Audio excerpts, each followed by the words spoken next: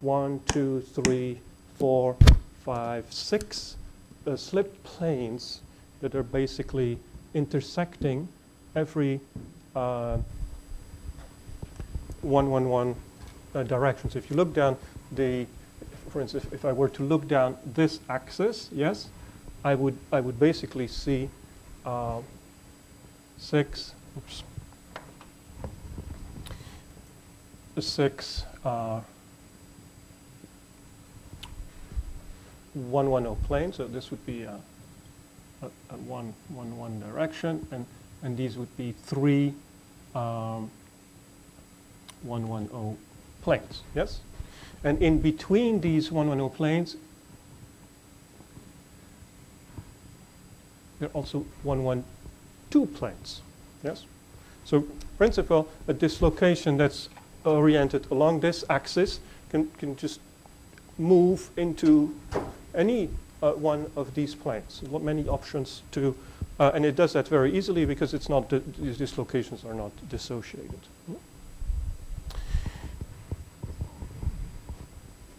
So let's um, let's put up uh, the slides here. Mm -hmm. Yes.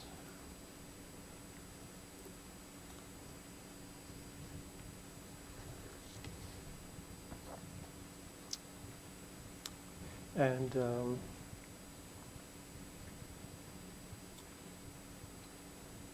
things are very slow today. Must be Friday afternoon. Even, even our systems are slow. Okay. All right, we have that. Okay, it's a cross slip. Good. There we go. Okay. So, so this is what uh, what I was telling you. Uh, that you can have cross slip and the dislocations, uh, screw dislocations in BCC uh, alpha iron will easily do this because they're not dissociated. In the case of FCC, it can equally be easy, but the material has to have a high stacking fault energy. Yes, not be the, dislocations shouldn't be dissociated. And and if you remember, uh, what was a high stacking fault energy? Well, there was of about hundred millijoules per square meter. Okay. Now, um, up to now, we've we've we've discussed uh, dislocations that dissociate, dislocations that exert uh, forces on each other. Hmm? Um, but what happens if um, if dislocation crash into each other? You know, they run run into each other, and um, so what happens? Uh, well, uh, in specific cases, we get junctions. Two dislocations will uh, form a third dislocation, and uh, whether or not this happens depends on the um, the B square criterion. Yes? Okay? Uh, so one of the, um, the th uh, junctions that uh, is, okay, and then when, when two dislocations um, uh, react together, usually it's only a piece of their, their whole length that reacts together, yes, where they meet. And um, so you form a third dislocation.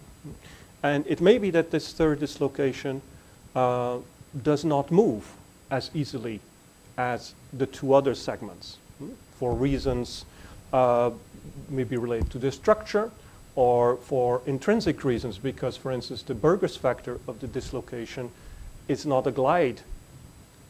It's, it's, it, doesn't make it a glide dislocation. Hmm? Okay? And so that means that these junctions will act as pinning points, more or less strong pinning points. Okay? And, it, and it's a very important aspect of strain hardening. Hmm? You know, what happens when dislocations uh, meet each other. So, so one of the um, uh, dislocation junctions um, is uh, or product of uh, dislocation reaction. They're very important for strain hardening, as I said. Um, and um, and some of these dislocation junctions can be sessile. In this uh, dislocation, uh, people they, they uh, will say a dislocation is glissile. That means it can move, or it's sessile. If it's sessile, it's just like it's a dislocation that just doesn't move, right? It's, it's very strongly pinned, yes, and uh, it doesn't matter how much uh, stress you apply, it just cannot move. Yeah? Um. Uh, so, um, and uh, because this junction uh, can be sessile, uh, it will take a lot of force to get the rest of the dislocations to move, and they will act also as barriers to other dislocations. So that all increases the flow stress, strain hardening, in other words. Yeah?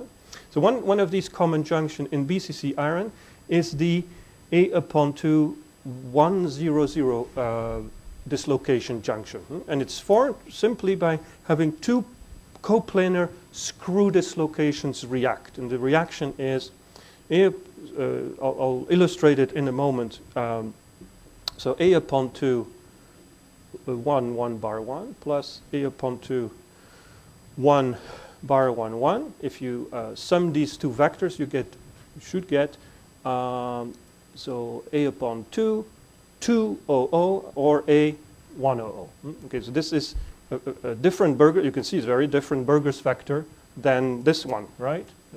Okay, so uh, first of all, question is, you, you can write uh, thousands of these reactions if you want, right? Uh, whether or no, not they will happen, you check this by doing the B square criteria. Okay, so check the B square.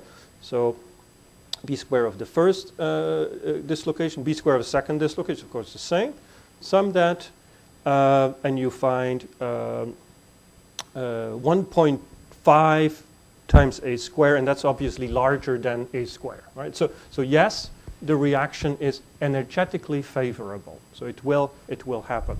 And, uh, and, and it does happen in practice. Um, so if, if, here I have an array of screw dislocations. Excuse me.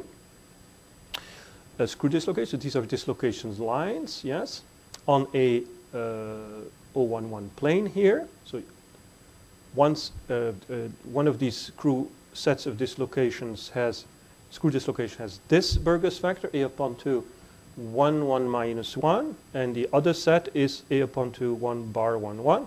And where they meet, yes, they can form a one uh, a, a one o o dislocation. Yes, and, and you see this this actually happens in practice. Uh, you see here these dislocations, screw dislocations in uh, BCC iron, actually a ferritic steel. Yeah, and in certain areas, these dislocations will form this kind of uh, honeycomb pattern. Yes, uh, where uh, these these little segments here are uh, these A uh, 100 junctions. Okay, so um, uh, yeah, pen here. How does this this work? So again, you can you can use this uh, very uh, simply. Let's see. Right. I'm going to put this like this. Yeah. Uh, and the reason why, I just want you to look, if you look this way, yes, at the, this dodecahedron, you should, it's square, right? It, it, doesn't, it doesn't look hexagonal, right? And that's because we're looking down a 100 direction, okay? So I'm going to put this like this, up, up here, yeah? And um, so if, uh, uh, yes, so, so this guy is a, a z direction, this guy is a x direction, this goes in y direction. And so this plane here is one, um, one, one O direction, okay? And uh, so I told you that all these uh, edges here are, are Burgers vector for this, this glide plane, okay? So um, what, what we basically have here, so let, I have to make a drawing then, so let me draw, just turn it around. So, um, so say we have screw dislocations like this, right? Hmm? Um, that have a Burgers vector as, as this. Yeah? And you have oops, screw dislocations like this, yeah? which have a Burgers vector like this. All right. Okay. So, um, okay. So now I'm going back here. Yeah. Um, this vector here and this vector here. Yes. Let's make the sum of these two vectors. So the sum of these two vectors is this. This is the same one here, right? So so so this plus this. Yes, is right. Uh, this is not the right one. Um, not the right. This is not the right reaction. It's one of the. I didn't want to do this, but anyway, it's, it's very good that it happened. So, um, if I let's let me correct this. So if this the Burgers vector of these guys are like this, yes, and the Burgers vector of this of uh, these guys is in this direction, then I have this Burgers vector and this Burgers. So the sum of these two is this one here, right? Yeah. And, and so it's and it's parallel to this this z direction, right? Okay. Okay, and and and, and so th and this is an a um, uh, one uh, zero zero one type of Burgers vector. Okay. You you had seen that originally. I mean, it wasn't intended. I had put this point in this direction, and when I try to react them, I get this vector. Yeah. So that that wouldn't happen because the, the b squared would not be uh, uh, smaller. But it's a possibility. As I said, you know, you can do any type of reactions you want. So, um, so, so, this will only happen, you know, for these two specific uh, Burgers vectors, and they have to be in the screw orientation. So, um, yes, okay, so that's, that's basically what I wanted to, to say. That's one type of junction, um, which is common in uh, the BCC. Um, in FCC, it's a, a, lot more difficult to uh, make a quick drawing, like uh, for, for reasons uh, uh, related to the fact that our dislocation are dissociated. So I, have I've tried to do this here hmm, for what is known as a, a Lomer-Cottrell junction, usually short LC junction. Yeah? And uh, what basically, uh, what, what, you're basically looking at is the, the reaction of, can illustrate this with my, yeah? It's, it's basically like this. So you've got um, this glide, this white plane is a, a glide plane. It's this one here, this plane here. And on my tetra, tetrahedron, yes, uh, and I use my tetrahedron to have another uh, 111 uh, plane. And, and, that's, that's this guy here, this guy.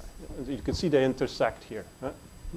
And they have, um, so here they, they have a, a common uh, uh, uh line.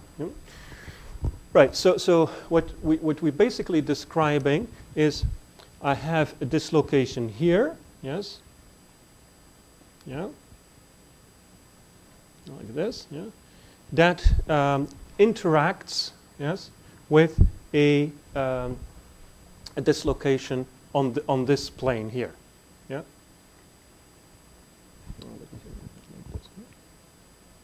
Okay. In, in the way that is shown here, yeah, and in the way it's in the drawing, they intersect here. Right? So this this dislocation meets this guy. Okay. Okay. Right. So in this in this particular case, yeah, what happens, of course, is um, so this is the stacking fault, yeah, right, and this is the stacking fault for this dislocation.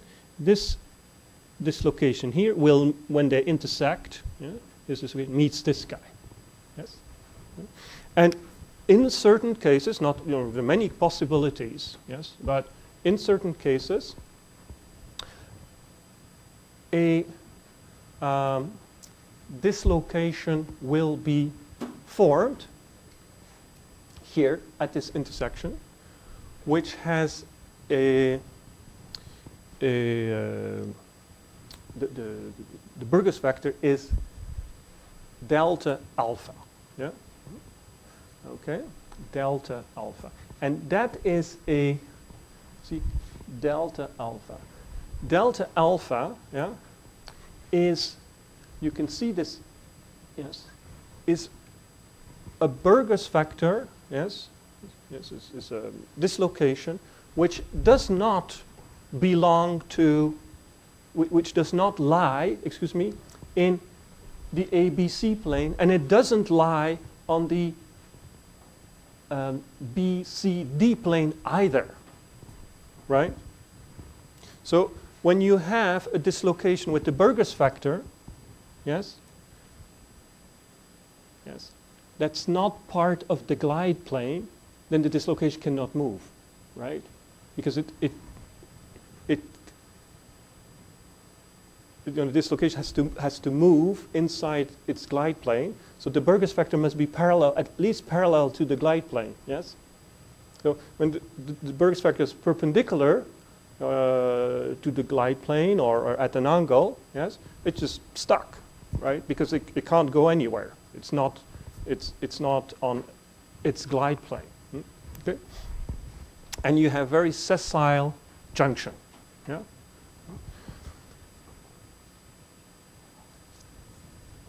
Now, I need to check something here because if A delta, right, so this, this is, yeah. So do you have your notes? Did somebody print his, um, print this thing from uh, e-class? If you did, you should check this reaction here because it needs,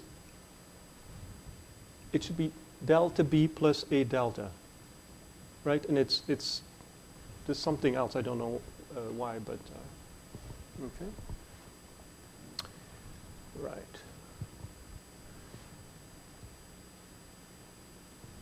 Okay. And that's what we call a, a, a Lomer-Cottrell lock. Yeah? Hmm? So and what is interesting at this Lomer-Cottrell lock is that this is the, this is this entire piece is called uh, Lomer-Cottrell, is that it consists of three pure edge dislocations. So that means the Burgers vector is perpendicular to the line direction. Yeah? Okay, very strong junction, and um, yes. So dislocations can interact.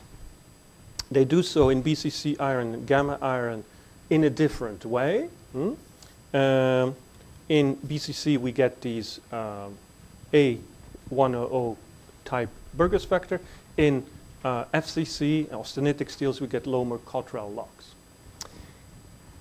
In BCC, um, there are also interesting things that, an, FCC, uh, that happen. And that, um, uh, those are things called jogs. Yeah? So usually we think of dislocations as being in the glide plane. Yes? But they can, parts of it can move to a different glide plane. And we've already seen that that can happen, for instance, when you get cross slip. When you get cross slip, so if, let me go back here, if I have uh, a dislocation here, yes, like this, which, which cross slips, yeah, yeah, to this plane here, yeah, I, I create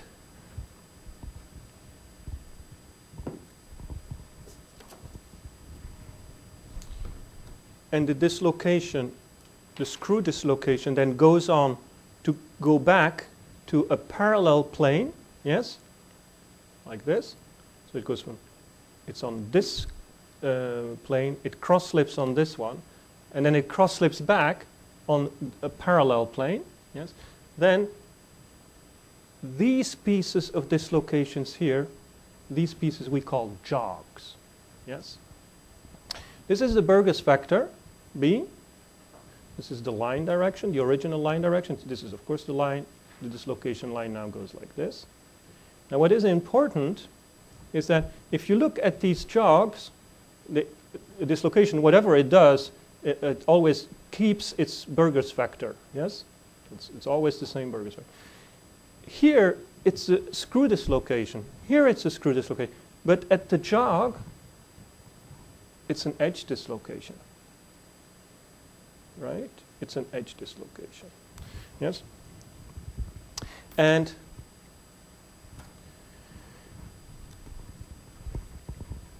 these, um, and, and, we call this jogs. And as a so these are very tiny things. I mean, uh, they, you know, they're not more than a few uh, lattice planes high, these jogs. So you can't really see them um, in, the, in the TM. But you can see the direct consequence of their presence. And the, the, for instance, you get these things. Yes? And this is obviously something happens to this dislocation, which makes it go here and then go back and so forth. Well, what is it? It's just a point where the dislocation is stuck, yes? And it continues to move and it trails behind it two dislocations, well, itself going towards that pinning point and away from it. So, and we call this a dipole. Hmm? Dipole. So dipoles, when you see dipoles in your, in your microstructure, and you, there are quite a few here, right? You see one here, a few here, yes. You know that here hmm, there is a jog on this dislocation. A small bit of uh, uh, edge dislocation uh, that keeps, uh, that pins the dislocation there. Another um, effect of the presence of jogs are these little loops. You see here, uh, this is a structure and it's lots of loops, lots of little, this is a very nice one here, you can see lots of this. All right? And we call this, uh, it has a name, we call it debris, debris. Hmm? All right? So how um, do we form uh, these jogs? Hmm? Well, you can form jogs as a result of cross slip, yes, and we've already seen, uh, yes, or you can form jogs as a result of dislocations intersections. Yes, these are two possibilities. Let's first have a look at the, the cross slip. Hmm? So say um, a dislocation um, forms, this, this, would, this thing here um, is, is, this is in, this, in the slip plane of my dislocation. This is not a, a, a um, this is not a jog. These are not jogs. These are just kinks. When the dislocation, uh, very, very uh, careful here, right? Don't, don't get your words mi mixed up. So this, say if this is a, a glide plane, yeah, uh, your dislocation, say your, your screw dislocation here, yeah? Hmm? uh, when it moves, um, it, it, will, it, will, move like this, right? It'll get larger, for instance, right? But if you if you look very, very careful, it's a really high magnification. If you could do this, right, what you would find out is that uh, the dislocations actually jump a little bit, pieces of them jump, yes, from what we call from one Peierls valley to the other. Yeah? And these little pieces of dislocation that you form, th those are called kinks. Okay? So they have nothing to do with, the, um, they, are not related to the, uh, the jogs here, right? Which, which are connecting pieces of the dislocation from one glide plane to the other glide plane. Okay? And the jogs are, uh, have very low mobility and, and they act as a pinning point. The edge jogs. Hmm? All right. Um, so we, uh, right. So, so, what you what you get is you can form a kink on the glide plane, but if it's a screw dislocation, there's nothing that prevents it from forming a kink on another slip plane, right? So for instance here, this is a screw dislocation. Right? You have these three or six 110 planes, yes? And this screw dislocation forms a kink on this glide plane, and it forms a kink on this glide plane, yes? Now these two kinks move towards each other, and they form a jog, right? All right. So uh, this the jog, this edge jog here, which um, uh, pins the dislocation. So when the, the screw dislocation tries to continue moving, it drags this dislocation behind it. Yeah, slow mobility dislocation behind, and you get, excuse me, formation of this dipole. These two parallel dislocations. Yeah? All right. Another uh, possibility is that dislocations cutting each other. Yeah? Okay. Um, so here I have a screw dislocation, this guy here. And here I have a screw dislocation on another glide plane, on another uh, 110 type plane. Yeah? Okay, so let's assume this screw dislocation does not move. It does not move. Yeah? And this screw dislocation moves from right to left. Yeah? Okay, what, what does it mean this Burgers vector? It basically means that the crystals is shifted. Yes, when you pass the you, when you pass the the glide plane of the dislocation, you shift the, the crystal gets shifted. Yeah? So when this dislocation cuts through uh, this guy here, yes, it gets shifted. It gets shifted upward by this amount. Yeah. And so it's the same dislocation, but it's, I have an edge jog in it. Hmm? And again, so this is low mobility, yes, acts as a pinning point. My screw dislocation can continue to move to the, to the left, and it trails these two pieces of dislocation behind it.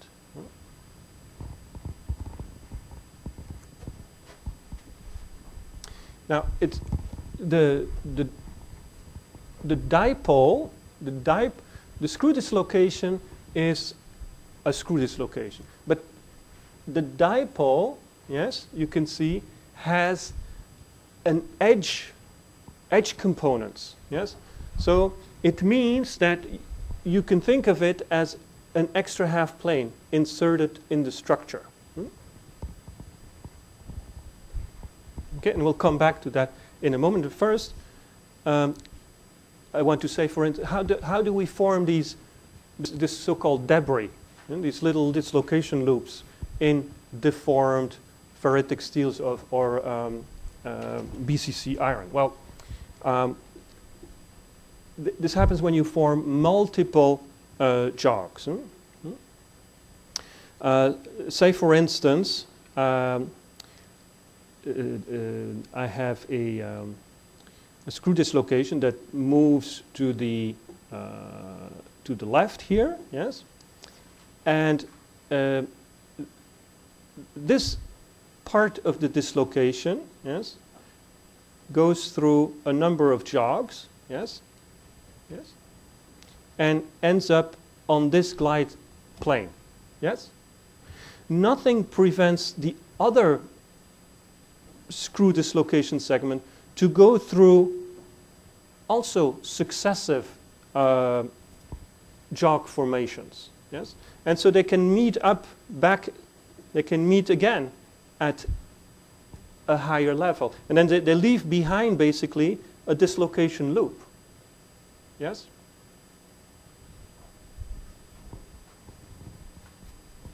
Uh, let me explain this maybe with a simple situation. So I have this.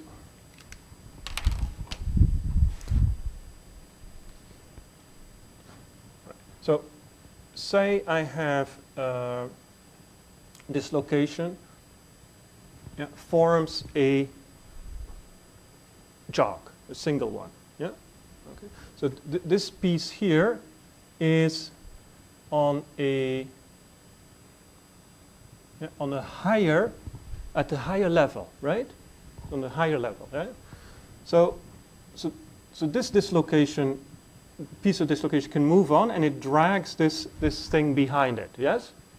So when this moves on, it can also drag this. But I can, this dislocation here can also form on itself a jog, yes? Can also create a jog and rejoin this piece, yes? And so as a consequence, they will leave behind a, a dipole, hmm? a lone dipole. Hmm? And if I go back to some of the micrographs, you can see that that occurs apparently rather frequently.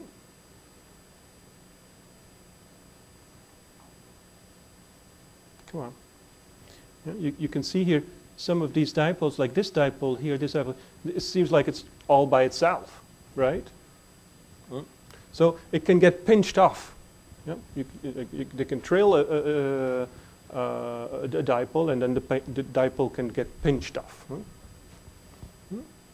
Okay, and these, these, these uh, loops here are basically uh, relatively similar processes that create them.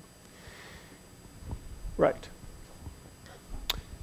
Of course, you can imagine that if, if you have made a very large kink, uh, there's little chance that this dislocation will, by chance, by you know, statistical uh, chance, will, will rejoin the other one, you know, because it, it, would have to make very specific uh, kinks.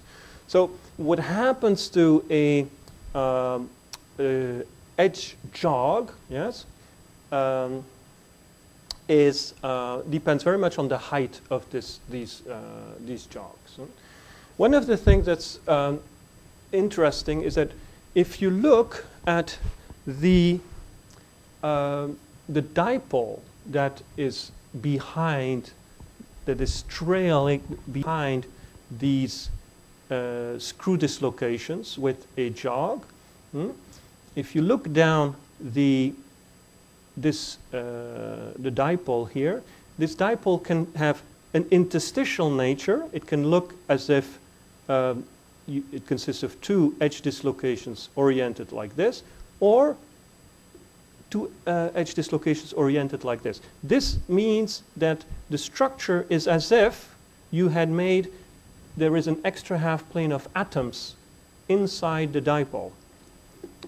This structure means that there is a missing row of atoms inside the dipole. So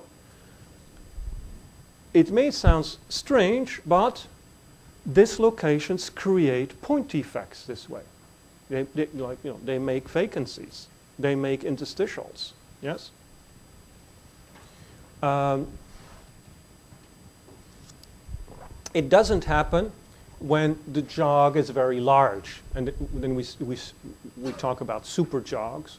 And super jogs, uh, they just act as, as pinning, pinning points, and the, disloc the, the, the, the screw dislocations uh, that are uh, hanging uh, are, are uh, part of it, uh, associated with it rather, they behave as if you know the jog wasn't there, and they have this, this pinning point. Yes. Uh, and actually, uh, by looping around this pinning point, uh, these screw dislocations can actually act as sources of dislocations, as dislocation sources. Hmm? We'll, we'll talk about this in a moment. Okay. Um, right, so let's say something about this uh, interesting aspect of dislocations. When you uh, take a piece of iron, alpha iron, pure iron, and um, you strain it, and you measure the density, yes, uh, you find that uh, the more you strain, the lower the density is. It's not a big effect, but it's there. You know? So it, this is the decrease in density. Uh, so the more you strain the material, the, the higher the decrease in, um, in, in the density. It's a measurable effect. And the reduction in density is due to, first of all, to two effects. Is first of all, the lattice dilatation that usually surrounds the dislocation core, hmm, and the vacancies that are formed by the motion of sessile jogs. So the, the jogs that I just uh, uh, drew you tend to be vacancy producing jogs. So let's read what's on the slide here. Uh, plastic deformation gives you a significant increase in point defects, in particular vacancies, yes? And because the, uh, the concentration of vacancy is much larger what, than the thermodynamically stable concentration, we talk about excess vacancies. Hmm? Excess vacancies. Um, so, uh, yes, and you can also form vacancies and self-interstitials, but that happens at higher temperatures uh, when the dislocations, edge dislocations, move out of their glide plane. That, that happens with edge dislocation. It's a, it's a high temperature effect usually. Hmm? Is, um, if you have a dislocation here, yes, hmm? and this is the extra half plane, this dislocation doesn't have to stick to its glide plane. Yes? It can, it can move to a higher glide plane without the processes of uh, jog formation that I just described. Hmm? That happens at high temperatures. At high temperatures, dislocations can climb out of their glide plane by absorbing or emitting point defects. Yes? So for instance, uh, if this um, extra half plane uh, absor uh, emits, let's say, a, uh, an interstitial atom, yes, yes, it, so then it will move up one lattice plane, yes, and it will have created an interstitial atom.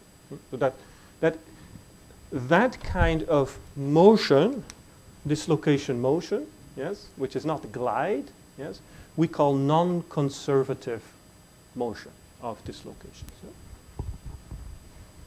Right. Um, we, we know from measurements that um, we produce about 10 times more vacancies as a result of deformation than interstitials. Mm? And the values can re reach as high as 10 to the minus 4, and that is it's really high value. It's close to uh, melting uh, temperature concentration of vacancies. Mm?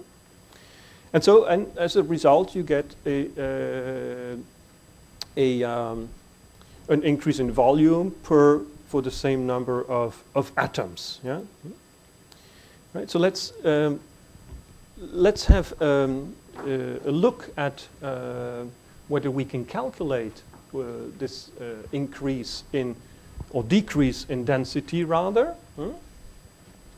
Um, so we'll just uh, simply calculate the effect of the lattice dilatation associated with dislocations.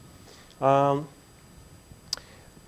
the lattice dilatation, yes, in a, uh, around the core of an edge dislocation corresponds to per lattice plane that's threaded by the dislocation to an addition of two vacancies. It's as the, you know, the, the, the local density, uh, local uh, um, uh, concentrations of vacancies around the core, yes, when you add is equivalent, yeah, the lattice expansion as well, is equivalent to adding two vacancies. Yeah?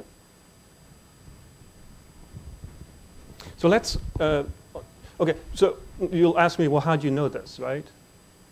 right? Well, first of all, there are measurements, and then there is a technique um, called uh, positron annihilation spectroscopy, which allows you to study uh, point defects in metals. Yeah? Um, and from these studies, we can, we can learn a lot about you know, how many defects we create in, in, um, in, um, in these um, in, in, materials like steel or, or iron, yes, and, um, and, and find out these things. You know? So uh, let's see what we do here. Hmm? Uh, well, we could let's uh, see what happens in, uh, in, in gamma iron. We we take a cube of uh, a very large cube of gamma iron, uh, one meter cube in size. Lattice parameter is 0.36, and we have dislocations. The density is rho d, hmm? and each dislocation creates a lattice dilatation of equal to two atoms uh, volumes per plane that it threads. Hmm? So you, you, you, can calculate the number of iron atoms in a cubic meter yeah, simply um, by um, with this formula here. So that's a lot of atoms. Then you can calculate number of vacancies. Yeah? And, and basically, uh, you just uh, count the number of uh, 110 planes, yes, in, in a meter here, yes. You count the number of the length of dislocation that you have, so that gives you, uh, and you multiply by two. That you know, gives you the amount of vacancies that you've created. Yeah? Hmm? So you have basically this number of atoms, this number of vacancies. Hmm? And then you can calculate the, uh, the density with and without the, uh, these vacancies and calculate the decrease in density. And, and, and you get this number, you know, this number multiplied with the dislocation density. So if you, know, if you work this out, you'll find values that are um, you know, comparable to, to uh, what is measured here. Hmm? Um, and um, you can also use this, this method, and some people have used it, um, to measure dislocation densities. Uh, these uh, density measurements are small, but they're measurable. You just need a, a good uh, density, but, but uh, conventional uh, density measurement, yes? And uh, you measure it as a function of strain. You assume, as I've said here, that you know, you're around two atoms, two vacancies added per threaded plane.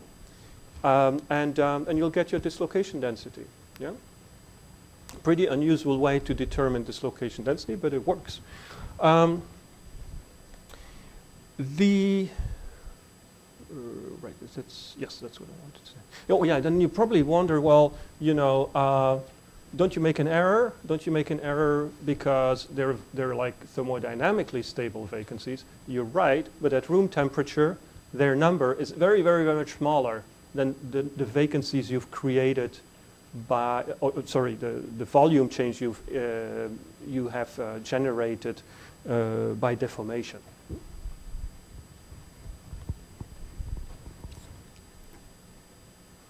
All right, so now, now we come to um, the aspect of the generation of dislocations, yeah? And um, the, um, generation of dislocation is um, usually what, what we, um, uh, we say is that dislocations are, are generated by Frank Read sources. Hmm? Um, and um, Frank Read source, you can um, make, have them in um, FCC or uh, BCC uh, metals and alloys. Uh, here we'll, we'll just illustrate it with the um, uh, for uh, BCC iron. Hmm? And um, this process is called double cross slip. Yes, it's double cross slip, which is something I just explained to you. Yes, is one of the mechanisms by which we can make Frank Read source in uh, in BCC uh, in BCC metals actually, uh, BCC metals and alloys. Okay, so how does it work? Yeah. And um, right, so the so the, the, the, top picture is, is again um, something uh, we had uh, we, have illustrated here. So what what we have is a uh, right. Okay, let's do it like this.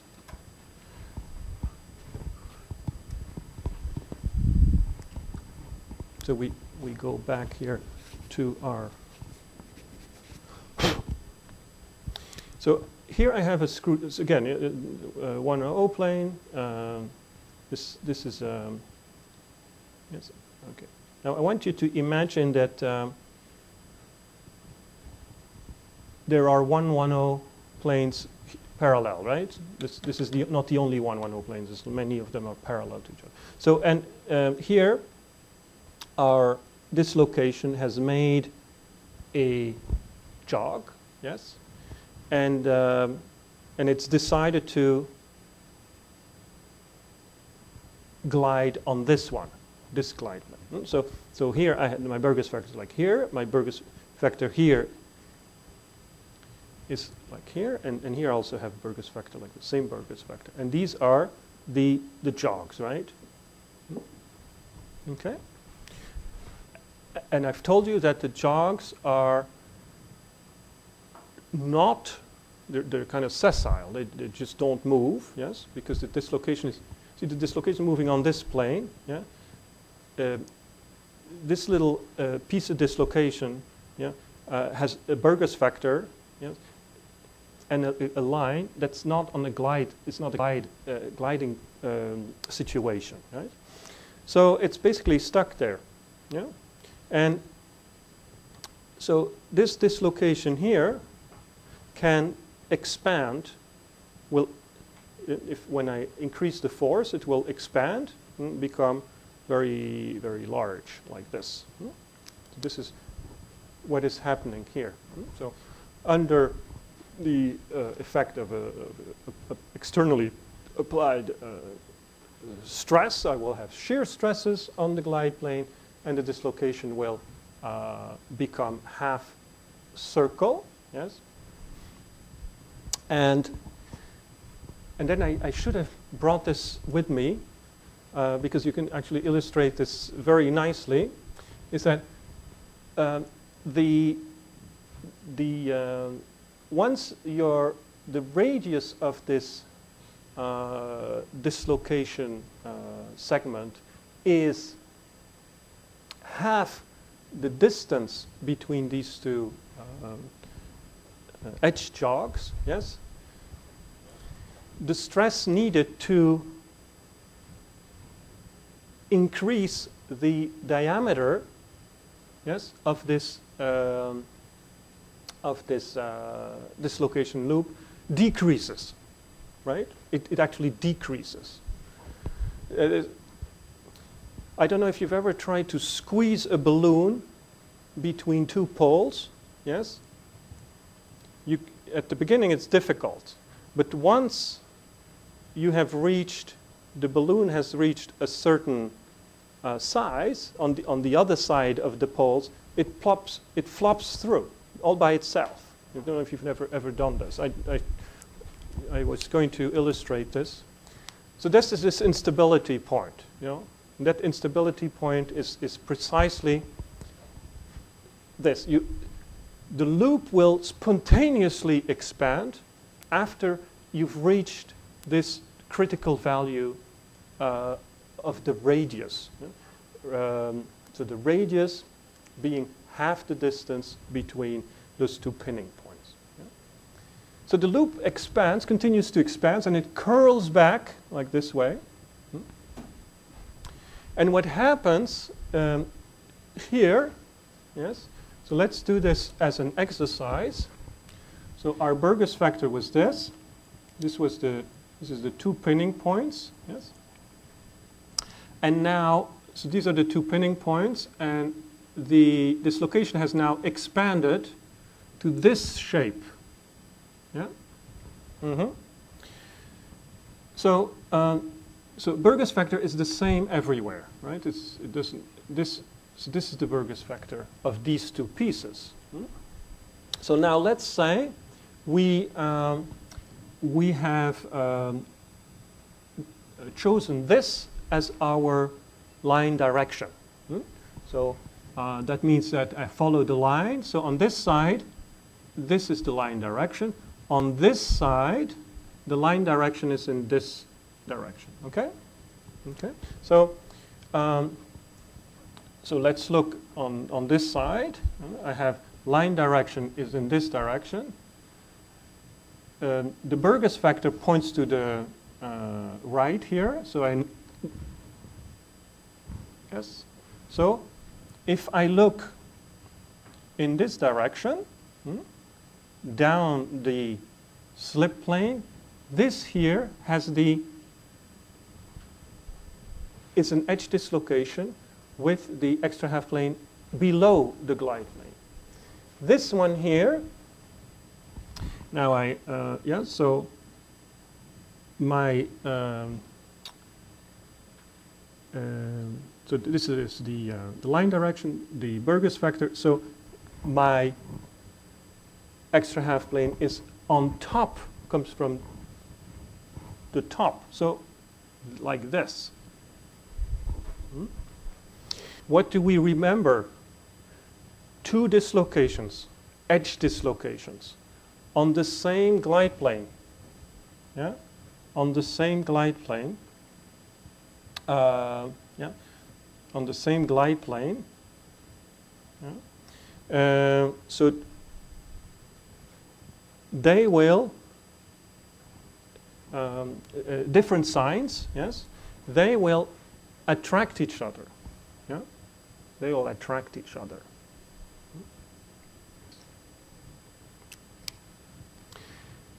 Yes, so you, re you remember this, this curve, right? Like this and, and this one here. This is actually the one for this condition. Yeah? Um, here we have a we have situation where, where y is zero. Yeah?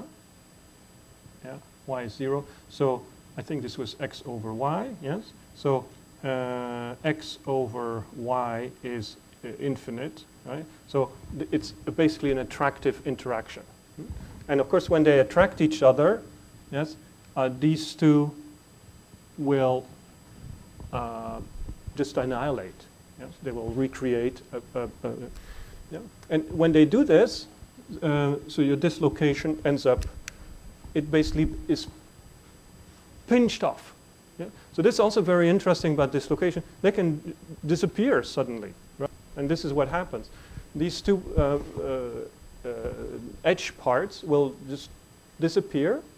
They leave behind a dislocation loop, yes, and uh, they leave behind this segment here, yes, which is actually nothing else than the original segment and the process can repeat itself. Yeah?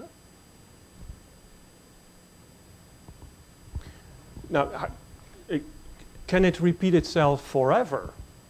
It's a good question. Well, let's see.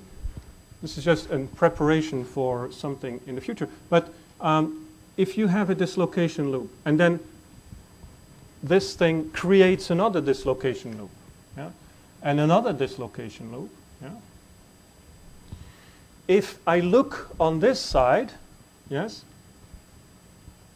so this was a, so yes, if I look on this side, here I have edge dislocations, yes, and uh, yes, so, and this was my uh, vector along the dislocation line.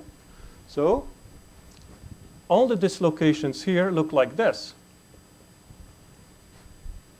Yes? So they all repel each other. Yes? So if we reach, for instance, a grain boundary here, yes? These dislocations will, will stop moving. Yes? And they will repel each other, making it harder and harder for us, yeah, because of this back stress, making it harder and harder for us to make new dislocations. Okay? And that basically stops the production of, the, uh, of new dislocations. So this is a very important uh, mechanism uh, in, in iron and steel, ferritic steel, BCC iron, um, related to the uh, internal generation of dislocations hmm, in, in, uh, in BCC iron. Okay. Right. So what is uh, uh, uh what is this, uh, this this stress relation? Well, it's very. We have seen this before, right? How, what does it take? What uh, shear stress does it take to get a certain radius, right? We know this formula. We've, we've used it to calculate, for instance, what was the stress in this fatigued sample. I used this with the TM uh, picture. So we use the same uh, formula, which relates the shear stress on the dislocation and the glide plane on the dislocation and the radius, yes? And say um, if we have um, uh, 82 uh, gigapascal shear, uh, um, shear modulus and a Burgers vector of 0.248, hmm, which would be about the, the story for um, the situation for alpha iron. this formula basically tells us about 10 divided by r gigapascal. Yeah? So that means that our, uh, the, the shear stress required to activate uh, Frank Read source, yes, hmm, um, will decrease with increasing um, uh, increasing uh, length here. Hmm, when they're far apart, it's easier to, to generate dislocation than when it's very, very, than when the points are very close. Hmm? Hmm? So, um, so diagram here is uh, so the the you have an increase with a decrease in r. So this is one it, because it's, it's linear with one over r. Okay. So when the when your um,